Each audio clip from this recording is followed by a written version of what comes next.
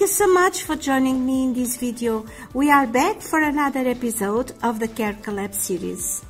Uh, following the procedures, several channels from all over the world uh, join up to share their experience with growing the same orchid. This time we are talking about Zygopetalum. The list of participants for this episode is quite extended, which shows how popular these orchids are getting. The names of the channels participating today are going across your screen now and uh, will also be mentioned in the description of this video together with the links to their videos so that you can watch them later.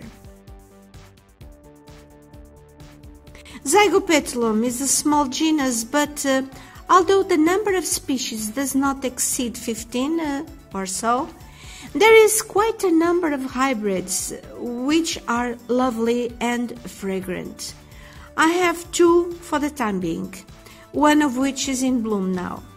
I really want more. However, I could not yet find locally the plants I want.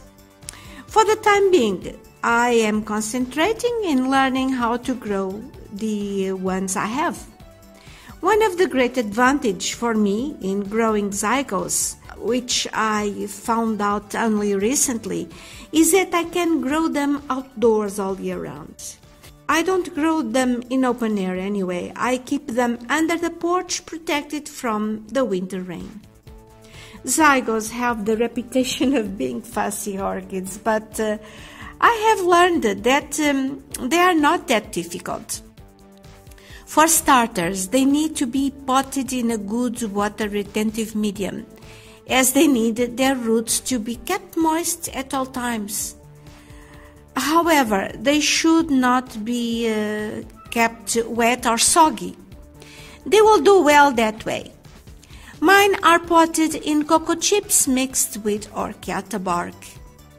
Another important thing to know is that they hate to have their roots messed with, and so we best leave the roots alone and uh, they will grow well for you. The roots are quite happy to be a little overcrowded in the pot, so there's no need of repotting on a regular basis, as long as the medium is not decaying, of course. I keep both my zygos in um, bright uh, light uh, with uh, occasional direct sun early morning or late afternoon either summer or winter. This one I have in bloom is Zygopetalum Trozy Blue. It was a gift from a friend. One of the characteristics of zygos is that they throw a spike while the new growth is just starting, as you can see here. The new growth is still very thin and young, but uh, the spike is even thicker than the new growth. On the opposite side, the plant is shooting another new growth. With a bit of luck, I might get another spike in the near future, although the spikes take a long time to grow.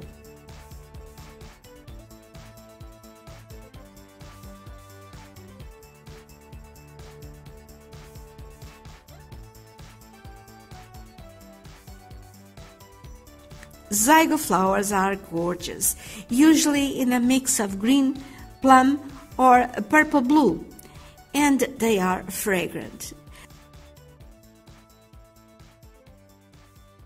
The, the worst part with zygos is that their foliage tends uh, to get black uh, streaks and spots. This uh, other zygo I have here is quite small because we had an issue. This is um, Zygopetalum romi. Uh, the uh, real name is on the screen now. It's very complicated to say. I bought it recently. It was in bloom when I bought it. I ordered it uh, online. Unfortunately, only two days later, I noticed that the spike was broken and rotting and the pseudobulb it was going, growing from was also rotting. I really did not want to be bothered and I decided not to ask for a refund or to make any claim.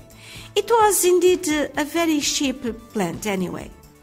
I almost threw it away, but then I decided to give it a try And hold and behold, it grew this new growth soon after. I was absolutely thrilled. I also keep this one outdoors. I don't want to keep this video too long, so this will be it for now. For further information, I suggest you take a look at my previous Lab video. I'm leaving you a card on top of the screen now, as well as a link in the description. I also remind you uh, that uh, you can get further information from the other videos being posted today about these subjects. You will easily access them through the links in the description. Well, I hope you have enjoyed this video and I thank you so much for watching. I will be back soon with another video.